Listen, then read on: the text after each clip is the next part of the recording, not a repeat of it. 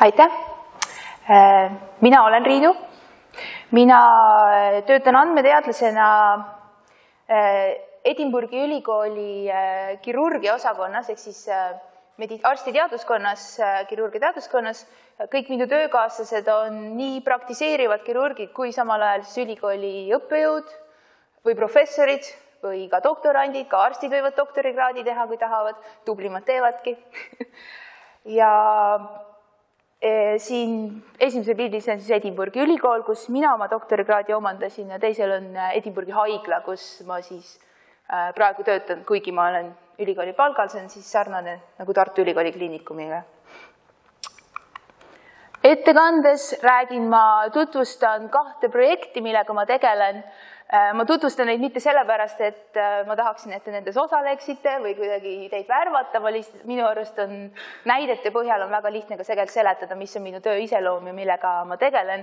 Ja siis äh, ettekande lõpus äh, räägin, kuidas ma siis sellisele töökohale sattusin, mida ma õppisin äh, ja mis tööriistu ma ka kasutan oma töös esimestest projektidest on Global Search, mis äh, ma kirjeldaksin sõnaga, on ühisloome teadusprojekt, kui te teate inglisekeelset sõna crowdsourcing, siis äh, Vikipeedia pakkus vasteks äh, ühisloome, et me kogume andmeid üle terve maailma ja nende andmete kogumine, arstid üle maailma sisestavad meie andmebaasi andmeid tasuta, et me ei maksa neil, me ei osta andmeid. Eh, vastutasuks saavad nad, eh, on nad kaasautorid meie artiklitel. kes siit ruumist oli vanem kuulnud sõna ühisloome? üks, kaks, kolm. ja ka sõna crowdsourcing? kõik, väga hea. tõlkevastetena on ka pakutud talguhange ja rahvahange, mis minu arust kõlavad päris hästi ma ise, äh, ma tutvustan teile seda projekti ja siis me võime, kuna ühisloome ilmselgelt ei ole veel väga, väga levinud käibe, äh, käibesõna Eestis, me võime siin ruumis olijatega siis mõtlesin, teeme väikse hääletuse, mis meie arust on parim tõlge sõnale crowdsourcing. olgu, äh, Global Search projektis kirjurgilise andmeteaduse ühisloome need patsiendid, äh, kelle andmeid me siis kogume ja analüüsime, ehk kohort, äh, nad on käinud siseelundkonna operatsioonil, see on lihtsalt sellepärast, et see kirurgiaosakond, kus mina töötan, kõik need kirurgid on üldkirurgid, ehk siis maksad, neer, pankreas ja muud siseelundid. me ei kogu südameoperatsioone, me ei kogu kopsu, aju ega ortopeedilisi operatsioone kui üle maailma arstid eh, eh, esitavad siis meile oma patsientide andmed, me palume, et nad esitaksid kahe nädala jooksul kõik patsiendid. see on oluline, sellepärast et ilmselgelt me ei taha ainult päevaseid patsiente, me tahame ka öiseid erakorralisi, me ei taha ainult parimaid tulemusi, me tahame kõiki. ja meie tava, me piirame seda kuue kuu piires, et Eh, kuus, kuue kuu jooksul peab eh, kirurg siis valima kaks nädalat, mil ta paneb kõik patsiendid meie andmebaasi kirja. ja me küsime iga patsiendi kohta kolmkümmend neli muutujat, et natuke patsiendi taustainfot, kui vana, mis soost, kindlasti mitte ei küsi me nime või aadressi, see ei ole oluline ja see on ka on, äh, anonüümne. mis tüüpi operatsioon oli, miks, mis kirurgilise lõikega see toimus ja siis ka kontrolltulemused, et kuidas, kas läks olukord paremaks, kas äh, läks halvemaks, kas suri ära võib-olla. Ähm, ja mina liitusin selle osakonnaga ainult poolteist aastat tagasi, nii et sellest projektist äh, äh, ma tean ainult lõpptulemusi, aga mina ei osa, mina ei viinud seda läbi. esimene projekt, kirurgid viiekümnest üheksast riigist võtsid osa Äh, sisestasid meile kümne tuhande patsiendi äh, kohta siis kolmkümmend neli muutujat ja kokku oli siis tuhat nelisada kaheksakümmend kirurgia arstitudengit, kes on meie äh, artikli, see statistilise analüüsi artikli kaasautorid. Teine projekt, mina juba, mina liitusin selle osakonnaga siis maikuus nii et näete, see andmekogumisosa hakkas juba läbi saama äh, ametlik, aga ma olen teinud suurema osa sellest äh, andmeanalüüsist siis. Äh, riikide arv natukene suurenes, patsientide arv ka suurenes ja kaasautorite arv suurenes oluliselt sellepärast, et me lisasime ka äh, valideerijad, nii et äh, teise, teine kirurg samast haiglast pidi pisteliselt osad punktid ka sisestama ja siis võrdlesime, kui täpsed loodetavasti siis need andmed olid ja ka seda, et kas meile tõesti esitati kahe nädala jooksul kõik patsiendid, mitte ainult paremad patsiendid. Äh, mis oli siis äh, minu roll äh, selles projektis, sest ilmselgelt mina ei, mulle see üldine teaduslik idee, et mis muutujaid me vaatame ja mis kirurgilisi komplikatsioone me võrdleme, mis patsiendi taustainfot meil on vaja teada, mida meil ei ole vaja teada, see see ei ole minu osa, seda teevad siis need teadlased ja kirurgid. mina jälgisin andmed, kogumisprotsessi, administreerisin andmebaasi, kvaliteedikontroll ja andmeanalüüs ja siin mul on niisugune kahe suunaga nool, sest kvaliteedikontroll ja andmeanalüüs äh, äh, käivad tegelikult edasi-tagasi, kui sa hakkad andmeanalüüsima, sa leiad tegelikult sealt justkui nagu veel vigu, millele sa ei suutnud mõelda varem. ja ka interaktiivne aruandlus on minu töö, kogu, äh, tööülesanne ja ma näitan täpselt, mida see tähendab, interaktiivne aruandlus. näiteks oh, oh, oh oleks pidanud, nii. live demod, alati hea mõte, kunagi ei lähe halvasti.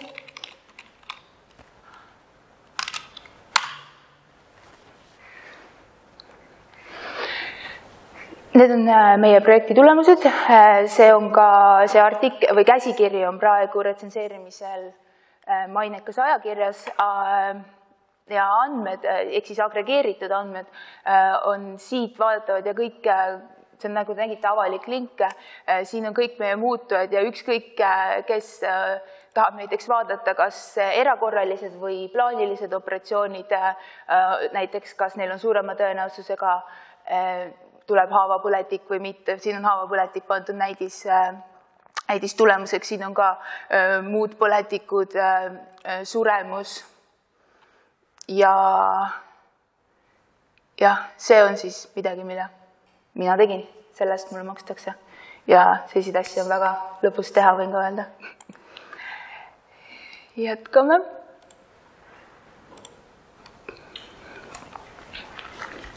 Need slaidid olid juhuks, kui live demo ei tööta, aga ta paistis töötavat. ja et Global Search on siis äh, ühisloomeline ühisloomeline tähendab, et kirurgid sisestavad meile andmeid, kohortuuring. Mis te arvate, kas äh, kõige loogilisem kutsuda seda ühisloomeline kohortuuring, talguhanke kohortuuring või rahvahanke kohortuuring? mõelge nüüd, ühisloome, talguhange, rahvahange. kes arvab, et ühisloome on kõige parem eestikeelne tõlge? see on vist juba, vist juba enamus, äh, aga talguhange, kaks, väga hea, ja rahvahange, mitte keegi. selge, otsustatud, ühisloome on eestikeelne tõlge sõnale crowdsourcing.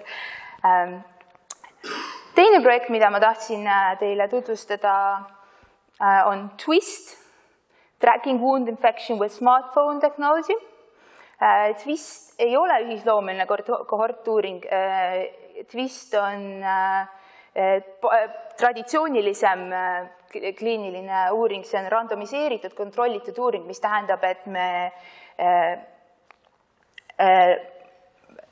läheme pat-, läheme uur-, läheme patsiendi juurde, küsime, kas te tahaksite meie uuringust osa võtta, kui nad ütlevad jah, siis me laseme arvutil nad randomiseerida, kas nad siis vastavalt saavad näiteks uut äh,, traditsioonilises äh, meditsiinis see oleks, kas nad saavad uut ravimit või platseebot. Ja siis võrreldakse äh, tulemusi äh,. selles äh, projektis meil mingit ravimit ei ole, selle ravimi asemel on meil nutitelefon Äh, kui sul on operatsioon, siis kuni kahekümnel viiel patsientidel läheb haav äh, natuke põletikuliseks. see ei ole väga suur, suur probleem ja ainult üks protsent nendest patsientidest peavad siis äh, haiglasse minema selle haavapõletiku pärast ja võib-olla ka peab kirurg uuesti haava avama või midagi. aga sellegipoolest isegi need mittetõsised olukorrad, see on siiski väga valus, sa pead võib-olla kauem töölt koju jääma, paranemine võtab kauem aega. ja seega oleks parem, kui mida varem äh, tuvastada, et haavapõletik hakkab tekkima, mida parem seda ravida, seda rutem see laheneb ilmselgelt. Ähm, ja kõikidele inimestele ei meeldi arsti juures käia, mõni väldib arsti juurde minekut nii kaua kui võimalik, kuni asi ikka väga halvaks läheb. Ja vastupidi, mõned inimesed jooksevad arsti juurde, kui on niisugune kerge punetus ja siis ka sedamoodi ka lähevad ootejärjekorrad äh, asjatult pikaks. Ja nüüd meie äh, üritame vaadata, kas nutitelefoni abil me saame inimesed, kes on koju läinud, koju paranema äh, operatsioonist, ähm, aidata neil otsustada, kas nad peavad tagasi haiglasse tulema oma haavaga või nad paranevad normaalselt ja võivad olla olla rahul oma progressiga äh,. nagu ma ütlesin, see on rando, randomiseeritud äh, uuring äh,, poolte, pooled inimesed siis kes randomiseeritakse kontrollgruppi, neile lihtsalt öeldakse, et jah, sa lähed nüüd koju ja käitu oma parema, käitu nii, nagu sa heaks arvad, kui sa arvad, et su haav hakkab põletikuliseks minema, mine arsti juurde või tule haiglasse tagasi äh, või kui sa arvad, et kõik on korras, siis äh, ära tee midagi. ja see on nii, nagu praegune olukord. aga pooltele inimestele saadame me iga paari päeva tagant äh, sellise küsimustiku, kus nad vastavad küsimustele oma haava kohta ja nad teevad oma nutitelefoniga foto oma haavast ja laevad selle meie süsteemi üles ja siis äh, teadlas, kirurgteadlased äh, vaatavad äh, nende küsimusi vastuseid, vaatavad seda fotot ja siis saadavad patsiendile vastu sõnumi. sõnumiteks on kolm varianti, et me arvame, et sul ei ole haavapõletikku, aga kui sa oled mures, mine ikka arsti juurde.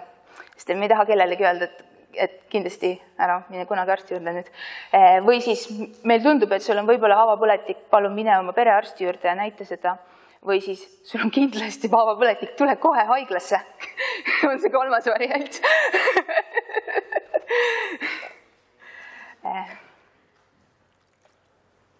Ja see, see, see uuring algas umbes pool aastat tagasi ja see praegu käib ah,, meil on andmeteaduse loeng siiski paar nädalat tagasi, kui ma oma seda Facebooki kirjeldust kirjutasin mul oli hästi, mul oli hea tuju ja mõtlesin, teen andmeteaduse loengu, et ei hakka inimesi tüütama programmeerimiskoodiga, ei hakka tüütama statistikaga. et tundus nagu hea mõte, kui ma nüüd see nädal seda ettekannet kokku panin, mis asja, mis ma lubasin, miks ma koodi ei saa näidata, miks ma statistikat ei saa näidata, aga ühe niisuguse siis selle tööriista või võ, võ, ähm, äh, siiski kerge, kiirelt kirjeldan teile, kuidas see äh, äh, see tegelikult töötab RedCap on äh, andmebaasi tarkvara, sinna me sisestame patsiendid, RedCap ütleb meile, kas patsient läheb siis sinna äh, kontrollrühma, ehk siis nendega ei võeta ühendust enne, kui kolmkümmend päeva on läbi ja küsitakse, kas sul oli haavapõletik ja millal sa arsti juurde läksid, et me üritame aru saada, kas nad läksid piisavalt ruttu arsti juurde või liiga hilja või ka liiga vara. Ja siis, aga teistele teistele patsientidele siis saadetakse sõnum, selle sõnumi saadab RedCap automaatselt see on niimoodi, oleme seadistanud, aga sõnumile vastamiseks äh, mina äh, siis kirjutasin niisuguse äh, väikse äpi, kus arst, arst saab valida patsiendi numbri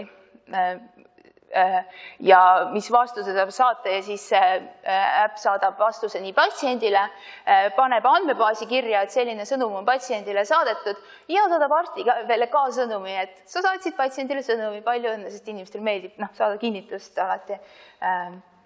ja, ja siis samamoodi sellele patsiendile helistab kolmekümne päeva pärast teine teadlane, kes ei tea, kas ta sai neid sõnumeid või mitte ja lihtsalt ja ta üritab, ta kõne alguses ütleb ka, et palun ära ütle mulle, kas sa said sõnumeid või mitte, ma ei tohi seda teada, ma tahan lihtsalt teada, kas sul oli haavapõletik ja millal sa arsti juurde läksid. ja seni vist äh, paistab töötavad patsiendid äh, äh, saavad aru küll, et me teeme teadust ja meil on äh, vaja äh, sektsioneerida informatsiooni niimoodi, et andmeanalüüsiks. jah. Need on need äh, meil on väga palju teadusprojekte käsil, aga need on minu arust kaks kõige põnevamat ja kaks kõige, kõige tugevamalt andmeteadusega seotud projektidest. jah, ettekande, semi-, ettekannete seeria nimi on Ülikoolist andmeteadusesse. ja nüüd ma siis järgneval ettekande teises osas räägin, kuidas mina siis sattusin haiglasse tööle, olles kindlasti mitte õppinud arstiteadust või või isegi mitte biomeditsiini või. Äh, vahepealaks räägin, et äh, Suurbritannias on selline naljakas konventsioon, et kirurge ei kutsuta doktoriteks, vaid kirurgid on äh, härrad ja prouad, nii et see on traditsiooniliselt, sest neli aastat tagasi kirurgi, nelisada aastat tagasi kirurgidel ei olnud meditsiinikraadi ja Suurbritannias on traditsioonid väga aus, nii et mina olen regulaarselt ainukene doktoriosakonnas, sest kõik kirurgid on meil härrad ja prouad.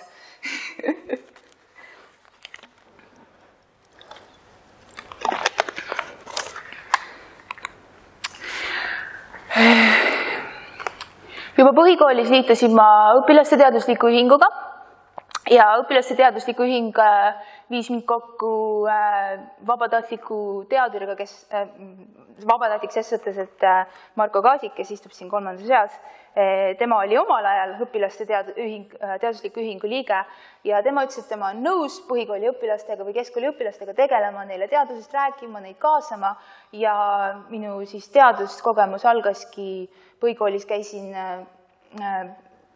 põhiliselt vist bioloogide välitöödel abil, abiks äh, äh, jah, liike määramas ja samblikke määramas, mingi hetk ma teadsin väga paljude samblike nimesid ladina keeles enam ei mäleta äh,. keskkoolis ma tegin siis äh, kaks uurimustööd, jälle ikka Marko Kaasiku juhendamisel äh,. neid esitasin näiteks selle õpilaste teadustööde konkursile muuhulgas Tartu Ülikooli läksin õppima füüsikat jätkuvalt õhusaaste modelleerimisest oli, äh, oli lõputöö. Ja pärast Tartu Ülikooli füüsika bakalaureuse lõpetamist äh, läksin Edinburghi ülikooli doktorantuuri äh, keskkonnakeemias, kuigi kõik mu juhendajad olid füüsikad. füüsikad kuidagi kipuvad mujale ka valguma aeg-ajalt. Ja, ja ikka õhusaaste modelleerimist ja siin on siis mõned näit-, lihtsalt näited minu töö tulemustest, ma ei hakka neid kirjeldama, aga näete, et tegu, andmeid on ja visualiseerimist on. ja siin on minu äh, tööriistakasti evolutsioon. aastal kaks tuhat viis alustasin välitöödega, siin on paberi peal kirjas, mis liike me kohtasime ja ka Excelit andmete analüüsimiseks ja kogumiseks kaks tuhat seitse MathCAD ja siis äh, Fortranis on tõhusaaste mudeleid, ma ise üldiselt Fortranit muidugi ei kirjutanud, vaid kasutasin mudeleid ja siis aeg-ajalt muutsin siit-sealt paari rida nagu vaja. ja, ja andmete analüüs toimus siis äh, MathCADis, aga natukene ka Excelis ikka äh,. paar aastat hiljem äh, Fortran äh, mudel sai ära paralleliseeritud programmeerijate poolt, nii et äh, õppisin, kuidas paralleelseid mudeleid jooksutada ja hakkasin andmeanalüüsi Pythonis tegema MathCAD-i. Äh, no ma ütlen Exceli asemel tegelikult, ma tean, et mind filmitakse, aga tunnistan avalikult, ma kasutan siiamaani Excelit peaaegu iga päev, aga lihtsalt nendeks ülesanneteks, milleks ta sobib, näiteks kiirelt faili vaatamiseks, kindlasti mitte ei kasuta siis ma enam pärast aastat, võib-olla kaks tuhat seitset Excelit siiski andmeanalüüsiks aastast kaks tuhat kaksteist, siis kui ma Edinburghi läks, siis äh, mudel oli ikka Fortranis, aga siis ta oli juba MPI paralliseeritud, kasutasin ka geograafilist informatsioonisüsteemi, versiooni kontrolli otsustasin hakata kasutama, kuigi juhendaja ütles mulle, et versiooni kontroll on vandenõuteooria äh, ja vahetasin Pythoni R-i vastu. kui te olete Data Science'i lehelt lugenud, seal on natuke seletatud, et Python ja R on niisugused mitte vastandlikud, aga nad on, kui sa kasutad ühte, siis sa tõenäoliselt teist ei kasuta või nii äh,. Äh, ei vahetanud mitte sellepärast, et üks oleks parem või halvem kui teine, vaid lihtsalt äh, R-is oli väga palju õhusaaste äh, analüüsi funktsioone juba sisse kirjutatud, nii et äh, oli mõistlik äh, mul R-ile üle minna. ja seega tegelikult kaotades kolm aastat Pythoni kogemust peaaegu, aga ma tulen selle juurde tagasi, et kas sa ikka tegelikult kaotad kogemust, kui sa keelt vahetad ja nüüd, eel, nüüd, kui ma olen siis andmeteadlane kirurgias, see on meil andmebaas, versiooni kontrolli vahetasin Mercurialilt Giti vastu välja.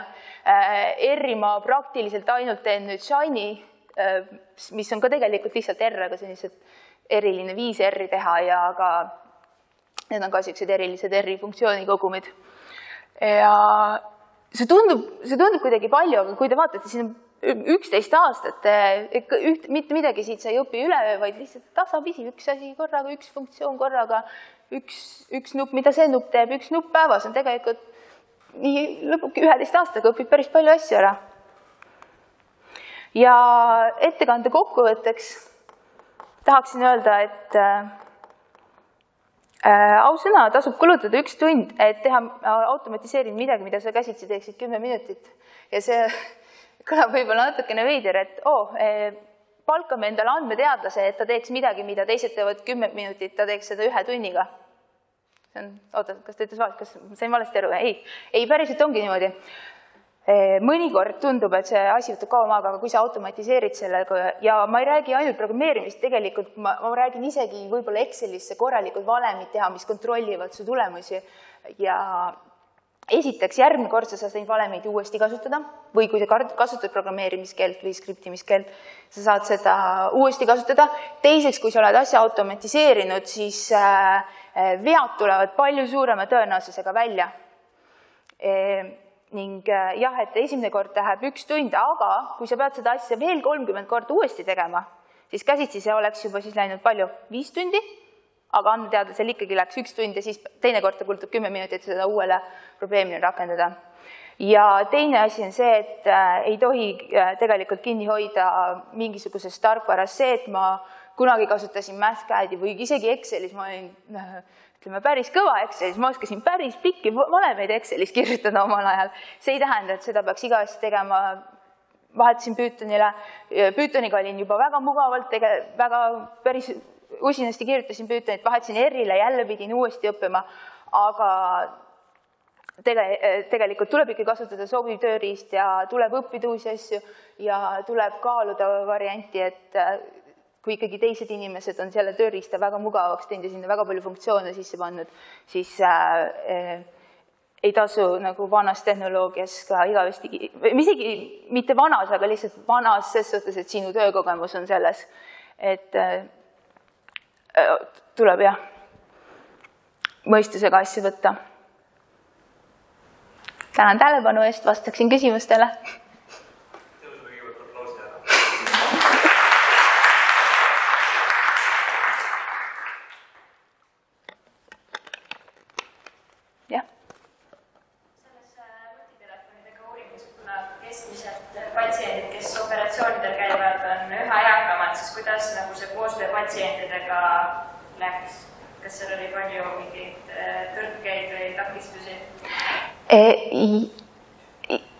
me ei saa selles uuringus, sellesse uuringusse kaasata patsiente, kellel pole nutitelefoni.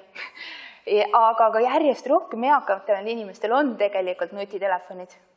nii et äh, jah, ja noor, noored inimesed käivad ka tegelikult operatsiooni, pimesoolaopid on siiski ju noortel ja need ongi täpselt sellised inimesed, kes järgmine päev lastakse koju ja siis kas läheb äh, põletikuseks või ei lähe Te väitsite, et kõiki neid kirurgid ise, eks, on see tõsi? jah.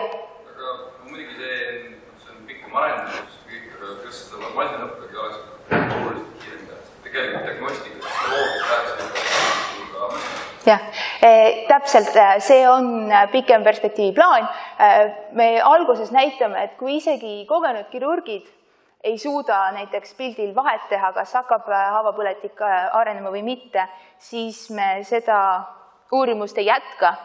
Kui kirurgid suudavad vahet teha, siis täpselt nii, sa ütlesid, me asendame masinõppega selle pildi vaatamise ära ja siis seda saab teha ju, me saame selle äpi noh, üle maailma, kõik võivad seda ise kasutada, kui tahavad, see ei pea enam olema nii noh, nagu pisut manuaalne, nagu ta praegu on, lihtsalt et näha, kas see põhimõtteliselt üldse töötab.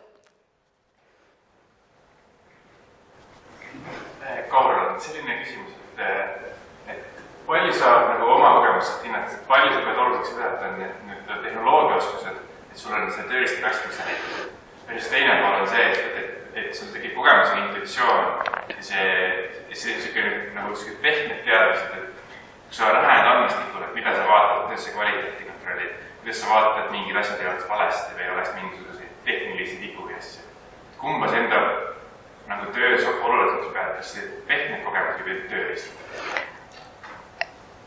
Kindlasti pehmeid ja seda ma ka, seepärast ma näitasingi, et ma vahetan tegelikult tööriistu iga paari aasta tagant ja see tegelikult näitabki, et suurem osa minu kogemusest ja minu panusest, ükskõik kas minu panusest minu enda doktoritöösse või minu panusest nüüd äh, kirurgia osakonnas, on minu äh, kogemus äh, andmetest, kogemus andmeanalüüsist, kogemus ka suhtlemisest, projekti juhtimisest ja need tööriistad on lihtsalt tööriistad. Inimene on ikkagi see mastermind.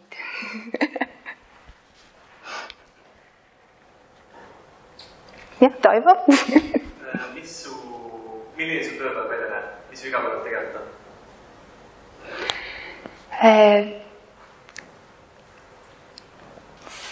põhiliselt äh, ma kirjutan erikoodi, põhiliselt, aga väga palju ka siis äh, seda, see andmebaasi tarkvara, kuhu siis inimesed saavad andmeid sisestada äh,, ma mõnikord ma ka disainin ise neid äh, küsimustikke ja, sest need võivad tegelikult ka väga keerulised olla, et nagu sa pead inimestel pead mingit vahemikku panema ja mingeid niisuguseid kontrollküsimusi. aga enamasti ma üritan teisi teadlasi seda andmebaasi äh, kasutajaliidest ise kasutama, sest see ei ole minu jaoks väga huvitav äh, see, see klikkimise osa, mina tahan kõiki programmeeritult teha, aga jah, ma, teadlased tulevad minu juurde ja siis ma küsin neilt, et milliseid andmeid sa koguda tahad, mis sa nendega teha tahad, sest et ilmselgelt sa tahad koguda nii palju kui vaja, aga nii vähe kui võimalik. et mitte nagu üle, ülearu tööd teha. et igapäevaselt äh, ka väga palju suhtlen teadlastega, aga õnneks ütleks, et kuuskümmend protsenti ajast siiski saan R-i kirjutada Marko? mis, äh, et see ettekanded kirjeldasid, põhiliselt ma näen nagu andmete kogumist. et, et aga, aga kuskohast seal taga siis see andmeteadus, andmeteadus või mingi töötamine nagu andmemasinõpe kuidagi välja kogub? Masinõpe ei ole ainuke osa andmeteadusest, ka andmete kogumine ja nagu mõistusega kogumine, et sa kogud neid andmeid, mis on sulle kasulikud ja teistele kasulikud ja millest saab analüüsi, see on juba pool võitu, ausõna on. ja nii et ma ütleksin, et andmebaaside ehitamine on andmeteadus, aga õnneks see ei ole suurem osa andmeteadusest, sest see natuke läheb igavaks siin, see on andmeanalüüs, tegelikult siia läks väga palju tööd sisse, et kuidas me tahame neid muutujaid esitada, sellist, sellist äppi ei ole tegelikult praegu.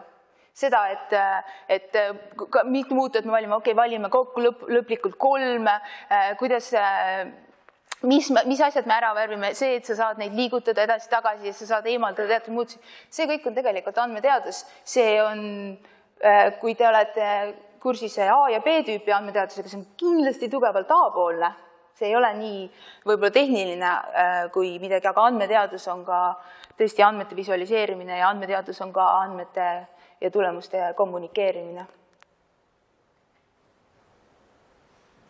jah, Marko? mis mis see A ja B tüüpi on? seda ma, liiga raske praegu seletada, aga sellel veebilehel on suurepäraselt ära kirjeldatud, et soovitan minna ja vaadata teadlased äh, pilte saab teha väga erinevates tingimustes, näiteks väljas päikse käes ja pimedas. kuidas siis äh, selgitati nii-öelda patsiendile, et kuidas ta seda pilti peab võtma, sest kui pilt teha väga hästi, siis ma kujutan ette, et kirurg saab aru, kas seal on põletik ja kui see teha midagi vastuvalgust, et äh, mis iganes, siis sealt ei saa mitte midagi aru. jah, ja see uurimus praegu kuna see on nii-öelda piloot, et me väga palju ei seletanudki, äh, vaid me vaatame, mida, mida, mida inimesed teevad, vaatame äh, noh, nagu öeldakse, et äh, ära tee teerada ja sunni inimesi seal käima, vaid vaata, kus inimesed käivad ja tee sinna teerada, et me vaatame, mida inimesed teevad hästi, mida nad teevad valesti ja siis teeme su suurema uurimuse kui mittepiloodi siis teistsuguste juhistega võib-olla või muudetud juhistega.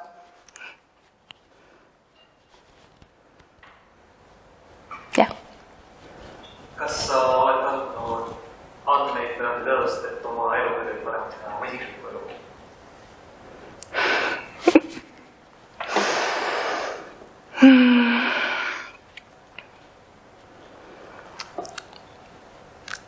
ei, ei tule pähe, aga kui, kui sa töötad, ma tean, et see, see ettekande teema on ülikoolist andmeteadus, aga tegelikult ma olen ikka ülikoolis ja, ja ma olen tegelikult ikkagi teadlane ja teadlastel isiklik ja tööelu on tegelikult sama asi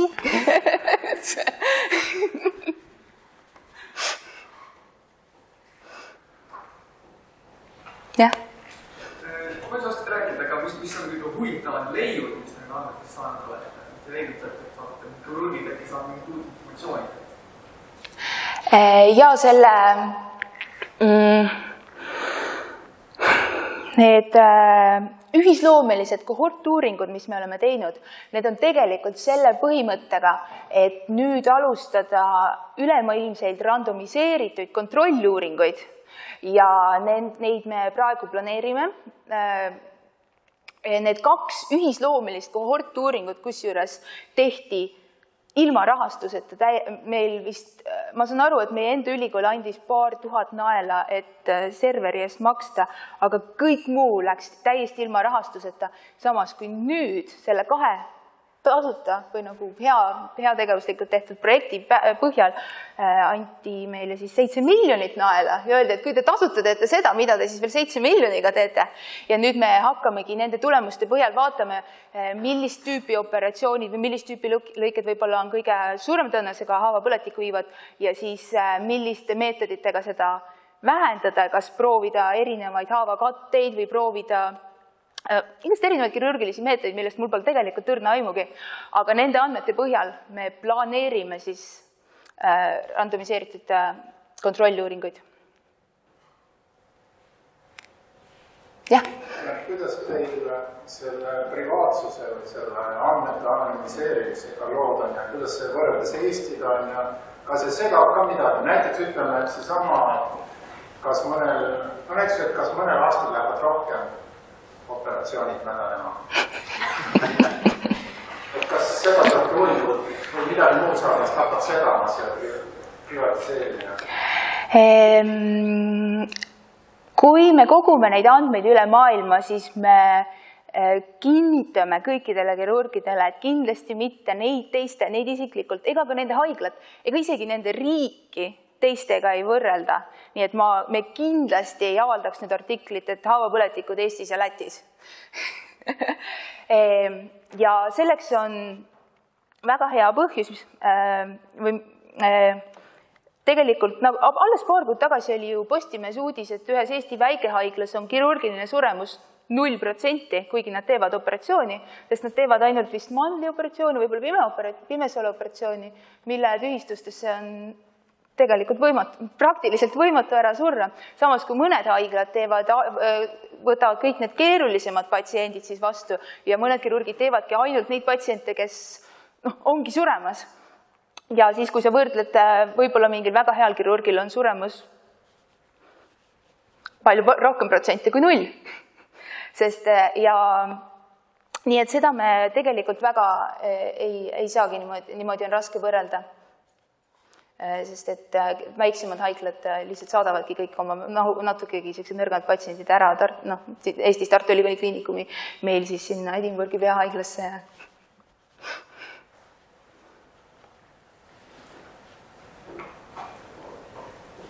jah, bravo.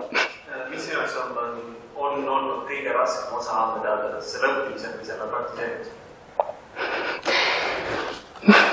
minu, mulle isiklikult on kõige raskem see, et, et kui ma näen tarku ja võimekaid inimesi, kes on lõpetanud, on lõpetanud selle evolutsiooni mingi hetk, et on, on tegelikult väga suur kiusatus, et kui sa saad ühes asjas väga-väga-väga-väga heaks ja tegelikult, kui su töö iseloom muutub ja sa peaksid tegelikult mingit tööriista kasutama.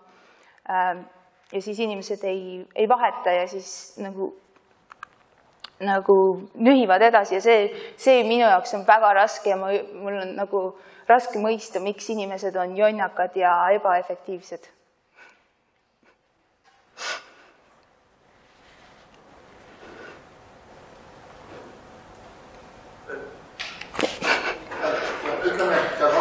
Tohutu hunnik andmeid, et need on hästi mustad, oli palju puhastamist, et kas sealt on midagi esile tuua, et kuidas andmete puhastamises mingeid tippe või? ma ei tea, kas nippe, aga ma räägin väga äh,, väga huvitava asja, mis juhtus selles samas projektis.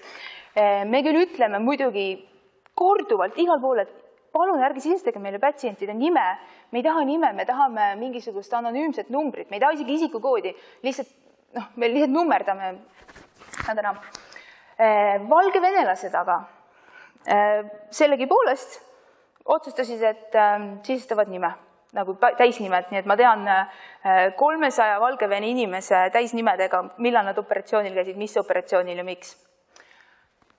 aga mm, teisel projektil juhtus niimoodi, et ja see oli enne, kui mina osakonnaga liikusin unustati, ma ütlesin kolmkümmend neli muutujat, unustati üks muutuja sisse panna ja see muutuja oli sugu. Et me unustasime küsida, mis soost need patsiendid on. ja see avastati, kui kolm tuhat patsienti oli juba sisestatud, lõpuks keegi kuskil maailmas saatis meile kirja, et vabandage, ma ei suuda soo välja leida, kas te ei taha teada, mis soost mu patsiendid on? tahame küll. Tahame küll, jaa. Kähku selle soo välja me lisasime sinna. Saatsime kõigile muidugi emailid, et palun logige uuesti sisse ja nüüd äh, palun üritage välja mõelda, mis või noh, vaadake oma äh, haigla välja, mis, äh, mis soost teie patsiendid olid. kõik seda muidugi ei teinud, mõned, noh, mõned kirurgid, eriti näiteks residendid, tegelikult ka vahetavad haiglat iga mõne aasta, mitte mõne aasta, mõne kuu tagant, oleneb riigist, kuidas neil need rotatsioonid on. ja valgevenelased millegipärast ei sisestanud oma kolmesaja patsiendi sugusid küll aga olid meil täisnimed mida, mida mina vaatasin hm,, naised, A-tähega lõpevad. kirjutasin siis väikse skripti, mis vaatas, et kõik, kes lõpevad A-tähega, on naissoost. ja, ja see oli nagu tegelikult väga niisugune lihtne võit, aga seda on äh, kõik, kõik kirurgid osakonnas olid nagu Riinu teadis, et kõik inimesed Valgevenes on nais-, kui nad on naissoost, nende nimi lõpeb A-tähega, kuidas ta teadis seda? Ja see oli jah, sihuke huvitav, äh, ootamatu, meeldiv asi, mis välja tuli andmete puhastamisest jah. Äh, üks asi, mis minu võib-olla arv, naiivne arvamus on see, et, et võib-olla inimesed kardavad andmeid, sellepärast neile tundub, et programmeerimine on keeruline kas sulle endiselt on programmeerimine keeruline? minul on, mina olen programmeerinud kümme aastat. Äh, ma ütleksin, et äh, kui see ei ole keeruline, siis sa luuserdad. alati peab keeruline olema, sest siis see tähendab, et sa õpid uusi asju, sa teed nii hästi kui võimalik ja väga keeruline muidugi, jah. kui, kui, jah.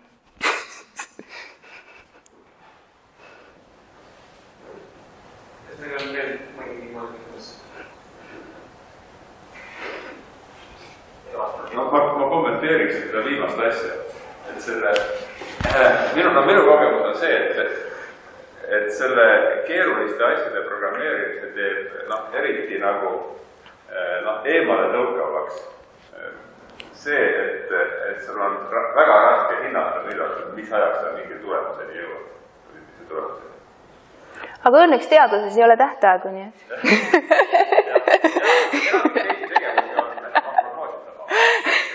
Eh, jah, muidugi eh, alati on raske projekti planeerida, kui, kui sa teed midagi, mida ei ole varem tehtud või kui midagi, mida sina ei ole täpselt varem teinud.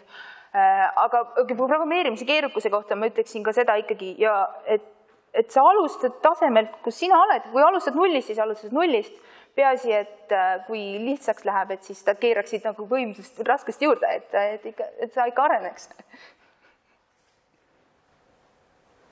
okei okay,, aga suur aitäh, Priiu, ja teeme endale punasoovi.